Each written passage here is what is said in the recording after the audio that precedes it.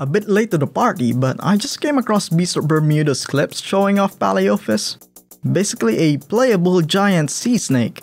This snake-like movement type in any game is troublesome to implement fluidly to say the least.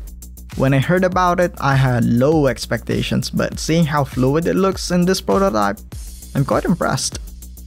I remembered Isle having plans for Titanoboa back then, not sure if that's still a thing, maybe we'll see in 30 years. Path of Titans, Last I checked, they have no plans for an official Snake playable, though I heard there's a Titanoboa mod being worked on right now.